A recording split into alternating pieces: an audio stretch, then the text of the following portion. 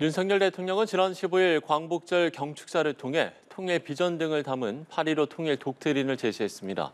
그런데 북한은 8.15 독트린이 발표된 지 일주일이 지나도록 아무 반응이 없는데요. 네, 수해 복구에 총력을 집중하기 때문이라는 해석도 있습니다. 지성림 기자입니다.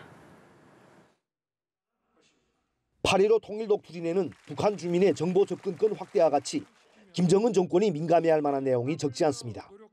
하지만 북한은 윤석열 대통령의 통일 독트린에 대해 비난하는 메시지조차 내놓지 않고 있습니다.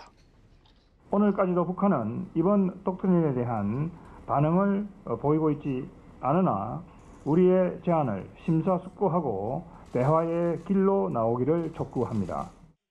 북한은 윤 대통령이 2년 전 광복절에 새 정부 대북 정책인 담대한 구상을 내놓았을 때는 나흘 만에 반응했습니다. 당시 김정은 여동생 김여정 노동당 부부장은 윤 대통령의 대북 제안을 어리석음의 극치라고 맹비난하며 분명한 거부 의사를 밝혔습니다. 북한은 현재 한미연합 군사훈련인 을지 자유의 방패 연습이 한창인데도 지난해와 달리 직접적인 군사행동에 나서지 않고 잠잠한 분위기입니다.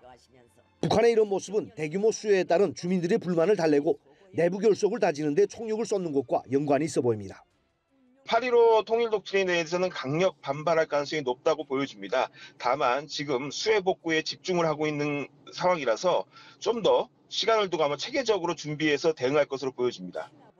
일각에서는 북한이 남북 관계를 적대적인 두 국가 관계로 규정한 만큼 통일 독트린에 대해 일부러 무시하는 전략을 구사하는 것 아니냐는 해석도 제기됩니다. 북한은 우리 정부가 지난 1일 대한적 십자사를 통해 수해 구호물자 지원을 제안한 데 대해서도 여전히 묵묵부답입니다. 연합뉴스TV 지성림입니다.